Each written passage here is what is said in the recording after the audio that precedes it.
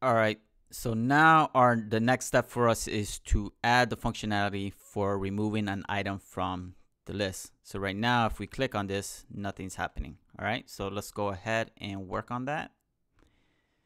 First things first is we want to add an on-click event listener to the delete button. So going to your cart page, let's navigate to the button for deleting. So that is this button right here.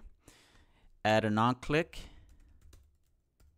and the moment a detection of the click has occurred here, we want to fire off a dispatch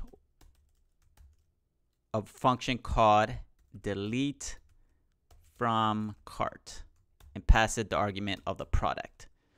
All right, now this delete from cart is going to be a Redux action function, which we are going to create later.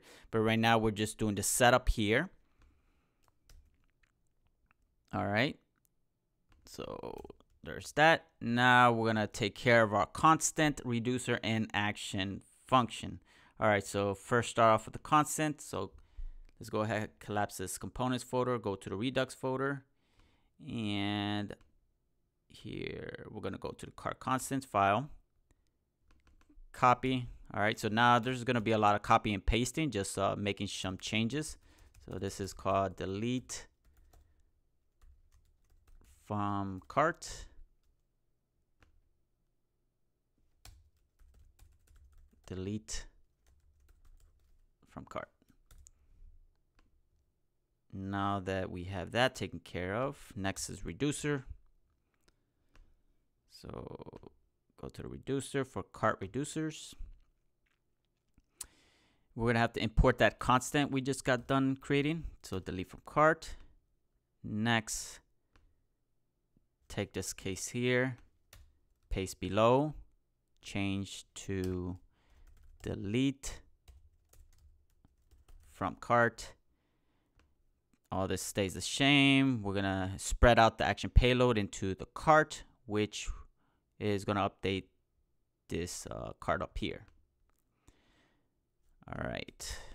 And finally, our action function. So go to the actions file, cart actions, and we can start off. I'm gonna just copy this line right here. Go below paste and we're gonna change this name to delete from cart. All right we're gonna be using that constant that we created earlier. So bring it up here so we don't forget delete from cart. All right, so now let's start working on this action function. All right, so to start off with, we are going to grab the cart from the local storage if it exists. Otherwise, just set the cart variable to be an empty array. So if the local storage get item of cart, then make use of it, but first we have to parse it. Local storage, get item of the cart. Otherwise, if it doesn't exist, just set it to an empty array. Next is we're going to do a filtering of this cart and check if the um, if if the product if the product that's passed as an argument matches the item that's in the cart and we're going to remove it if it if it does. So we're going to do filtering so we're going to call this variable updated cart. And we're going to do filtering on the cart and identify each item in the cart as a cart item. So what we're going to do is we're going to say if the cart items ID is not equal to the product dot ID, then we're gonna store it in this updated cart variable. All right, so the only thing that's gonna be filtered out is the product ID if there's a match. All right, that will be removed and then we'll have a new updated cart with all the items that is not a match to the product. All right, and then finally, what we want to do is we now that we have an updated cart, we want to we're gonna have to update the local storage and Redux store.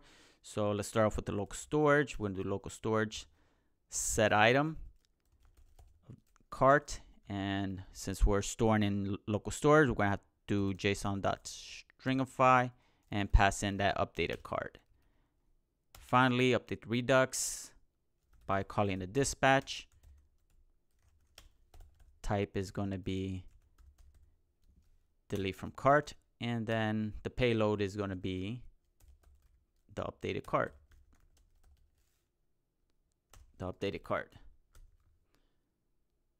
Delete from cart is not defined. Okay so finally we have to import that here into our cart component to make use of it so go over here import uh, delete delete from cart. Uh, no, this path is not correct. The path is going to be coming from, go back one directory, go into Redux, actions, and then cart actions.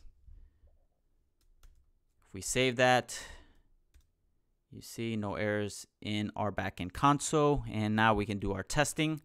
I'm going to open up my console because I'm going to verify um, as we're deleting here that it's removed from our local storage and Redux. So I'm just going to pull this up here.